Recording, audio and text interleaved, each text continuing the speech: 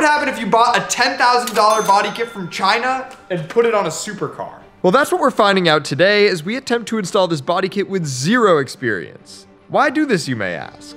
Well, last year, I bought an abandoned Aston Martin that had been left at a body shop for 15 years, sitting torn apart and collecting dust, with the goal of not only rebuilding it, but making it way cooler than a regular one. It was going pretty well, as we got it looking like a real car again and driving properly. But in order to make it cooler, it needed something special. So when I saw this $10,000 body kit from a sketchy website, I knew what had to be done. But now we need to see if this was a total waste of money or if it turns a supercar into something truly special. If you haven't seen the first video in this series, we dismantled the entire car and got the first few panels installed. The left fender and the side skirt. After a bit of trial and error, we actually found a pretty decent way to get everything mounted and lined up properly. But then we ran into our first major problem of the install, which we have to deal with now. And it's got me a bit scared, honestly. With that fender, on that side, we were able to get it in relatively easily, but on this side, we have an ECU in our way, and a bracket for the ECU. Now I think, think that the ECU should be fine, but we need to shave this entire front of the bracket off in order to uh, potentially make it fit. So it's time to lobotomize the coupe. And uh, I'm gonna don my safety gear because my mom will get mad at me otherwise. And uh, hopefully not completely destroy it. I'm scared. Before we do any cutting, we have to remove the ECU itself from the bracket. When you're messing with ECUs, it's always good to disconnect the battery first, because if you mess with it plugged in, you can cause some serious electrical problems in your car. Because basically all the wires in the car are routed straight to the ECU, it would be ideal if we didn't have to move it at all. With that done, we can unplug the ECU itself and unbolt everything holding it in place. Then, with it out of the way, we can start to modify the bracket.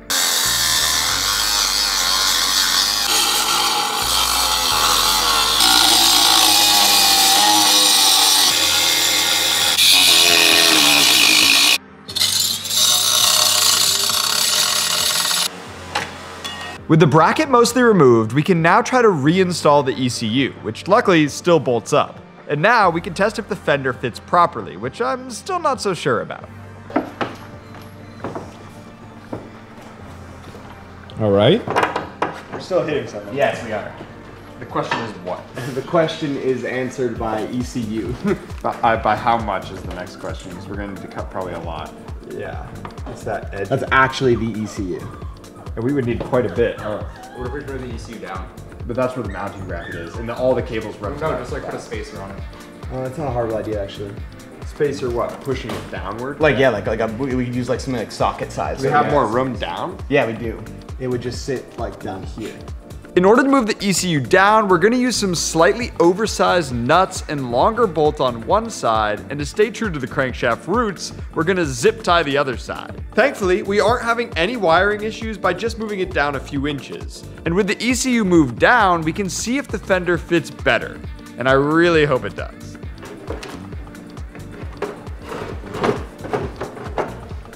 I think still. I think we're still hitting it. There we go.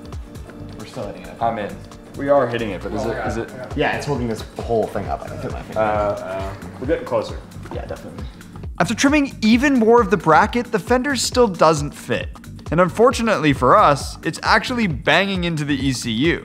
So we're gonna have to solve that. And the way we're gonna do it is uh, just a little scary. So we test fit it again. It's still hitting here. So now I have to do something that I don't want to do, and that's cut the edge of the ECU off. Now I don't trust myself, and I don't trust Will, but I trust Will more than myself. Just uh, really, honestly insane. Trimming the ECU is very scary for multiple reasons. The first is that cutting and sanding on the ECU can cause it to vibrate a lot, as well as get pretty hot, risking damaging the computer inside. The second is that we don't even know if it'll fit when we trim it down, so we could be doing all of this for no reason at all, and then end up destroying the ECU for the fender to still not even go on.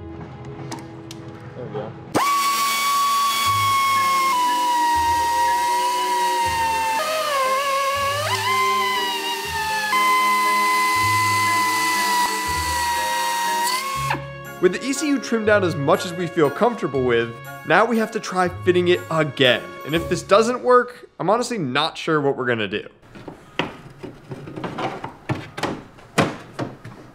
Oh yeah. And look at this, this time we don't have anything bad happen. That's pretty good. With the fender fitting as best as we can get it, now we can install it the same way we did on the other side, without all the headache this time. We do this by lining the fender up where we want it to stay and drilling holes through the fender into the frame. With the holes made, we can insert threaded rivets with this machine, and now we're almost ready to bolt the fender to the car. But before we do, we have something else we need to take care of. A question we get asked a lot. Some of you have been asking, where do we find our cars? Like the Aston Martin that we're working on, or maybe this uh, beautiful M5, or maybe the Miata behind you, or even maybe this Raptor. We have a lot of cars now. And we found most of them on Auto Tempest, which you should be using to find your next car, because it is the best way to search for cars. With just one search, you can see all the results, meaning you don't need to waste all your time jumping from site to site. Honestly, you'd be silly not to use it because it's seriously the best. I am always looking on there. If you see something and you think that's something that the crankshaft guys would like, you should send it to me because we have a problem buying cars and we're in debt. So remember, for all the cars with just one search, make sure you head over to autotempest.com. The link's in the description. Click it. Do You that. won't regret it. You're the best. And And, now, go let's look. put that stupid body kit on. Yeah, that body kit. We should probably be doing that. We're kind of wasting time over here right now. But go to Auto Tempest so you don't waste your time. With body kits like this, things usually just don't fit right. And for us, that's definitely the case. Cheap fiberglass body kits, especially ones that aren't purchased frequently, are often made with fairly low quality molds. This body kit has probably only been made four to five times, so the quality is lackluster at best, making all the panels slightly different and causing issues. In our case, it's causing the door to catch on the fender, so we have to do even more trimming. Fortunately, we have the right tools, and with a bit of trial and error with our belt sander, I think I have enough clearance to open the door. So let's test it out. There we go. Oh yeah. All right, let's bolt her up, baby. With the door fitting properly now, we can bolt the fender down fully to its final position, which although seems like a simple task, feels like a huge victory. Sometimes working on cars can be incredibly frustrating when you hit some kind of roadblock that stops you from completing what you set out to do. But once you finally get it right, there is literally no better feeling. We have both fenders on by some miracle. And now we want to get the front bumper on and test fit the hood so we can see what the entire front end looks like before we get to all the scary stuff in the back that requires um, cutting parts of a very expensive car. Yeah. So But look at this. this looks sick. God dang. It's actually, it fits shockingly well. When we mount it the right way, it's not bad. I mean, granted, there's, you know, there's a bit of. Yeah, but if you just push Yeah, but yeah, yeah, yeah, yeah, the yeah, yeah. You see, once the wind travels over this panel, Yeah, it's gonna create a lot of downforce. it'll create yeah, downforce yeah, and yeah. then it will sit perfectly flush with the head. Well, by perfectly flush, I mean about 75% flush with the headlight. To be honest though, since we put the car together the first time, it already kind of fit terribly. So, as uh, Daily Driven Exotics would say, it's because race car is why it doesn't fit well, not because we don't know what we're doing. With some questionable fitment issues aside, we can finally do something I've wanted to do so badly. Look at the new hood. Feel of the hood. Oh man, please don't be violent with it. Jackson, be Jackson's a violent guy. That's not true. Yes. He's making me out to be a violent. No, not violent with people. Violent with stuff that you shouldn't be violent with. Henceforth, things break. There's wood in here. Yeah. The wood modification. Would you believe it? Oh. oh. No, it does not feature. That looks so crazy. Wow. Oh my god. All right. With the hood living up to my insane race car expectations, now we can install it. Installing the hood should actually not be super difficult. But because we're installing an Alibaba body kit, there are still some issues. With aftermarket hoods, reusing the factory hood latches, releases, and rubber bump stops is pretty common. The difference with our kit is we actually have to drill out the holes that they sit in. And if we don't get it right, the hood won't fit properly, which would honestly not be super ideal. Rather than just use a massive drill bit and hope for the best, we're slowly taking away material with the belt sander until the brackets fit just right. It's kind of a slow process, but it's worth it for a better final result. And with all the holes ready and parts installed, we can finally fit the hood up to the struts and see what everything looks like. Okay, it's not perfect. That's a lot of gap. No, no, no, but Hey, there's less on that. That's that. That's pretty interesting gap happening there. dude, it's just a, it's a race car. This has some really bad panel gap. up and. Yeah, but that's the point. That's not the point. You hate panel gap. Yeah, yeah, I do, I do. I don't know what we're gonna do about that. We'll fix it somehow. The front top of that one's fine, the bottom of this one's fine. So then we need to just push that over that way a little bit. So I think the hood is just off kilter. The hood does have a bit of adjustment built into it, and after a bit more trial and error, it seems to be lined up a little better. Unfortunately for us though, it's not enough adjustment to fit perfectly. So rather than dwell on that, we're gonna finish up installing the front end and look into a solution for the fitment after the full kit is installed. So now we just have to take care of the bumper. We have pretty much the full front end together here. We just are missing the front bumper and this giant lip in the front, uh, which we're gonna have to figure out a way to support. But in the meantime, uh, these two holes, this one and this one, those fit perfectly, which is uh, unique for this kit. We've had some trouble getting the bolt holes to line up. This one does. Uh, these holes also line up with the holes in the kit itself down here. They just uh, aren't threaded. So we've had to find bolts that will work and hopefully this will be pretty smooth. Another issue we found with this kit is that the holes are basically all different sizes. So Will is taking care of the boring task of drilling all the holes out to the right size. We also got the wrong size washers, so Will has to drill those out too. And with all that done, we can start to line the bumper up and bolt it down.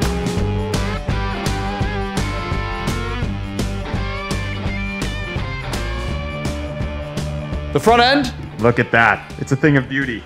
It well needs some adjustment, but in the meantime, that'll work. We're gonna need to do the back now, which is terrifying, um, and I'm scared. If you're wondering about this and why that looks not perfect, it's kind of angled up a little, we'll solve that. We have a solution to that problem, but let's get the whole kit on first and worry about that later because uh, now we have to take care of the rear end, which we already know won't be easy.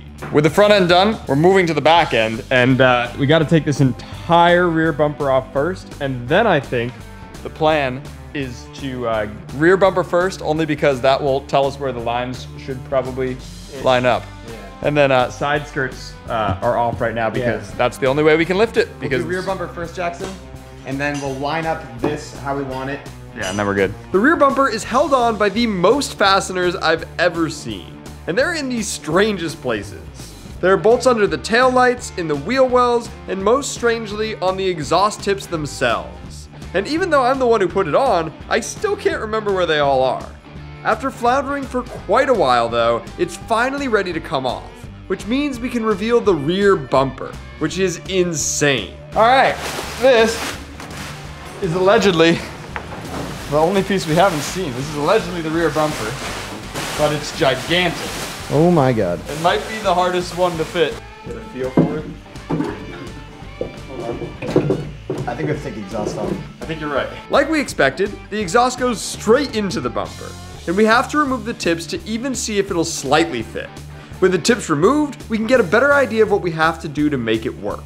Tips are off, now we're gonna test fit one more time. We probably have to remove the rest of the exhaust. And the exhaust is something we're gonna need to figure out because uh, this kit, oh, that looks cool actually. I'm not gonna lie. Because the, exa- the exhaust is still hitting. Yeah. Yeah, for sure. Yes. Oh, dude, it looks sick. The exhaust is still hitting for sure. So here's the deal. Let's put this bumper down and I'll explain the exhaust situation. We're running into a slight issue, which we, we kind of figured would happen, but we don't really have a solution yet. We're hitting on the exhaust because this kit does not really want you to run the exhaust this way. You can see it's supposed to go there in that hole, which means we would have to cut a hole here. Yeah. Which uh, I'll tell you why that wouldn't happen is because that might look simple, but it's about two feet of frame. Uh, the race car, that's not a problem, which is what this kid is modeled after. But on the actual street car, it is a problem. So we're gonna have to figure out what we do with the exhaust and where we run it. There's a way, I'm sure, but uh, I don't know Yeah. what it is yet. The rear bumper won't fit because of the exhaust, which is something that we're gonna have to figure out, but we don't have the time at this very moment. Which means we'll also need to wait to uh, put the rear fenders on, which is the scariest part of the whole thing, because we're literally gonna need to cut into the car, uh, and there's no reversing that once it's done. We also, um, I think to solve this exhaust problem, we're gonna need to cut into the rear bumper, which is also equally scary. So subscribe, uh, we're gonna get this thing done, and it's gonna look sick.